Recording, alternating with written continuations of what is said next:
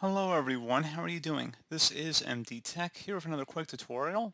In today's tutorial, I'm going to show you guys how to resolve if your Windows computer is shutting down after a USB device is plugged into it. So this should hopefully be a pretty straightforward process guys, and without further ado, let's go ahead and jump straight into it. So first thing I recommend doing, try a different USB port. So if you're plugging into one port, try plugging in your external media device into a different port and see if it's an issue with the port itself or if every port you plug something into it's coming across the same issue. Something else we can try here as well would be if we open up the search menu, type in troubleshoot, best result should come back with troubleshoot settings. Go ahead and open that up. Select other troubleshooters and go ahead and left click on that. Underneath other, scroll down and select power and then the run option next to it. And if it was able to find anything, it should hopefully be able to correct it right there. We can also close out of here, open up the search menu again, type in Device Manager. Best result should come back with Device Manager. Go ahead and open that up. Expand the Universal Serial Bus controllers, and then for all the USB root hub devices in here, or anything that says USB root hub or generic USB hub, right click on it and update driver. Browse my computer for drivers, and then select let me pick from a list of available drivers on my computer, and select the generic one that applies unless there's a more specific manufacturer one, in which case you can go with that one, which would probably be recommended. However, if there's only one, you go with the option that it gives you. So again, you would do the same thing for, for these other USB devices here.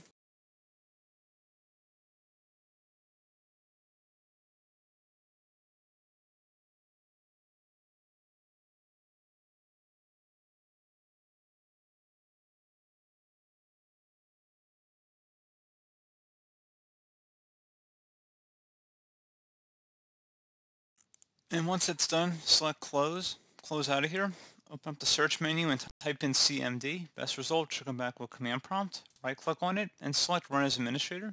If you receive a user account control prompt, select yes. And now into this elevated command line window, type in SFC followed by a space forward slash scan now. Scan now should all be one word attached to that forward slash out front. Go ahead and hit enter on your keyboard to begin the system scan. This will take a couple minutes to run, so please be patient.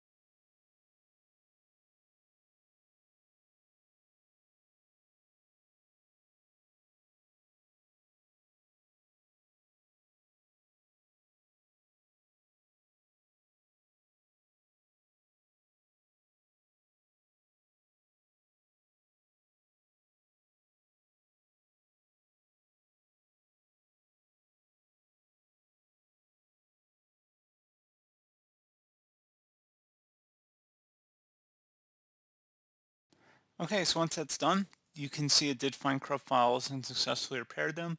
Close out of here and restart your computer.